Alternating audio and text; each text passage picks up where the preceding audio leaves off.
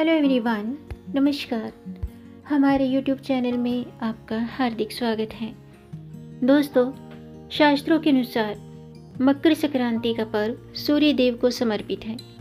सूर्य के राशि परिवर्तन को ही संक्रांति कहा जाता है। ज्योतिष के अनुसार सूर्य के धनु राशि से मकर राशि पर जाना मकर संक्रांति है। इस समय सूर्य दक्षिणायन से उत्तरायण होते हैं। कुछ जगहों पर मकर संक्रांति को उत्तरायण के नाम से भी जानते हैं। इस दिन स्नान के बाद दान पुण्य के कार्य करना बहुत ही शुभ माना जाता है। तो आज हम जानेंगे साल 2022 के मकर संक्रांति पर्व की सही तिथि, पूजा का शुभ मुहूर्त, पूजा विधि और साथ में जानेंगे कि इस दिन क्या करना चाहिए और क्या नहीं करना चाहिए। तो वीडियो शुरू करने से पहले दोस्तों, आपसे एक खास बात। अगर आप इस चैनल पर नए आए हैं और पहली बार आए हैं तो इस चैनल को सब्सक्राइब कर दीजिए और बेल आइकन बटन प्रेस कर दीजिए ताकि आने वाली वीडियो देख सकेंगे आप सबसे पहले। और जिन्होंने ये चैनल सब्सक्राइब कर दिया है, यानी कि अपना प्यार इस चैनल को दिया है, उनका दिल से आभार। बहुत बहुत धन्यवाद दोस्तों। इसी तरह इस चैनल के साथ जुड़े रहिएगा और अपना प्यार हमें देते रहिएगा। वीडियो को अंत तक ज़रूर देखिएगा ताकि कोई भी जानकारी छूट न जाए। क्योंकि दोस्तों आधी अधूरी जानकारी से पूरा लाभ नहीं मिलता है। इसलिए हमारे साथ अंत तक बने रहिएगा। तो आइए शुरू करते हैं।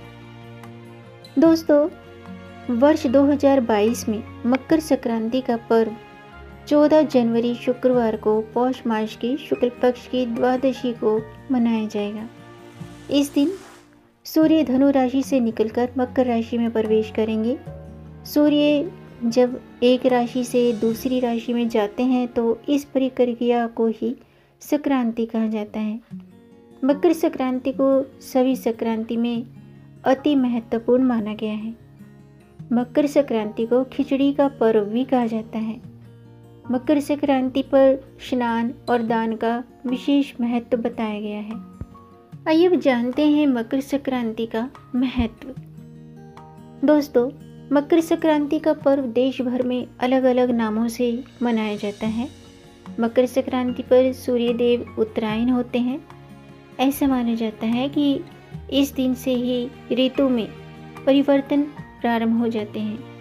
मकर संक्रांति से सर्दी में कमी आने लगती है, यानी कि शरद ऋतु के जाने का समय आरंभ हो जाता है और बसंत का बसंत ऋतु का आगमन शुरू हो जाता है।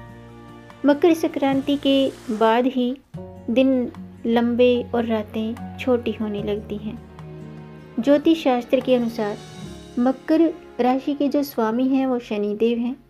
शनि सूर्य के पुत्र कहलाते हैं। पिता पुत्र का संबंध होने के बाद भी पिता और पुत्र में नहीं बनती है, यानी कि इनके आपस में संबंध मधुर नहीं माने जाते हैं। इसके बाद भी सूर्य पुत्र की राशि में लगभग एक माह के लिए आते हैं और एक माह तक पिता पुत्र के घर में रहते हैं और मकर राशि में सूर्य का गोचर कई मामलों में शुभ फल देने वाला माना गया है। मकर संक्रांति पर स्नान और दान का विशेष महत्व बताया गया है। मकर संक्रांति पर पवित्र नदी में स्नान करने को बहुत ही शुभ माना जाता है।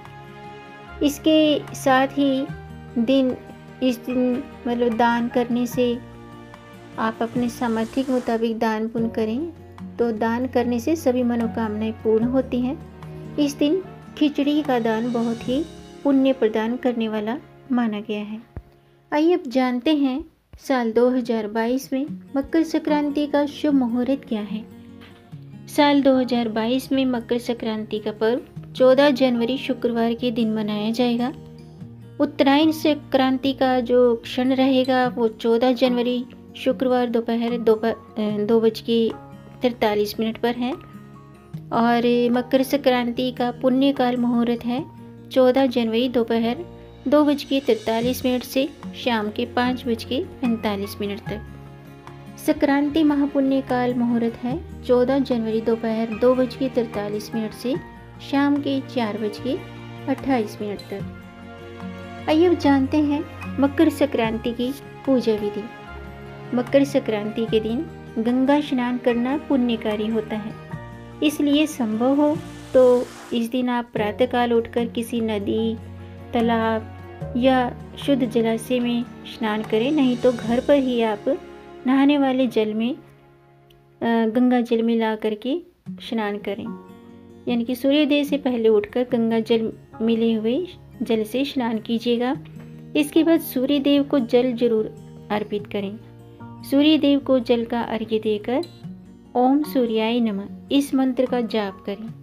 स्नान के बाद दान ज़रूर करें। आज के दिन विशेषकर खिचड़ी, आटा, उड़द दाल चावल और तिल के लड्डू का दान किया जाता है। दोस्तों, कथाओं के अनुसार मकर संक्रांति के दिन सूर्य अपने पुत्र शनि के घर आते हैं। जिस कारण यह, ये जो त्यौहार है, पिता पुत्र के इस अनोखे मिलन का प्रतीक है। कुछ जगहों पर नई फ़सल और नई ऋतु के आगमन के तौर पर मकर संक्रांति मनाई जाती है।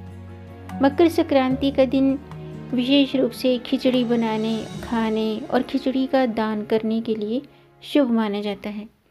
इसलिए दोस्तों, बहुत सी जगहों पर इसे खिचड़ी भी कहते हैं। इस पर्व के दौरान तिल और गुड़ से बने हुए लड्डू बनाने की परंपरा है।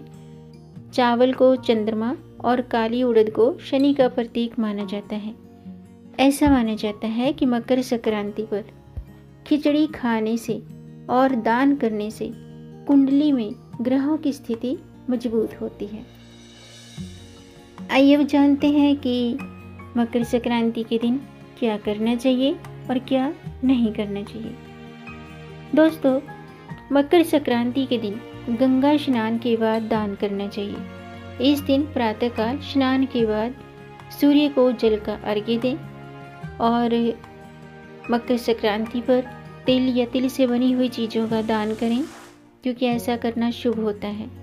इस दिन चावल और उड़द की खिचड़ी बनाएँ, क्योंकि ऐसा माना जाता है धार्मिक मान्यताओं के अनुसार सूर्य देव को खिचड़ी का भोग लगाने से सभी कष्टों से मुक्ति मिलती है। अब जानते हैं कि संक्रांति के दिन, यानी मकर संक्रांति के दिन क्या नहीं करें। इस दिन यदि आपके घर कोई ज़रूरतमंद व्यक्ति आए तो उसे खाली हाथ न लौटाएँ। खाली हाथ न जाने दे, खाली हाथ न जाने दें। कुछ न कुछ उसे दान की वस्तु अवश्य ही दान कीजिएगा। इस दिन स्नान के बाद किसी भी चीज़ का सेवन ना करें। यानी कि स्नान दान के बाद किसी किसी चीज़ का सेवन करना चाहिए। दान पुण्य करने से पहले किसी चीज़ का सेवन ना करें। मकर संक्रांति के दिन तामसिक चीज़ें, जैसे कि लहसुन, प्याज का सेवन ना करें, अल्कोहल का सेवन ना करें।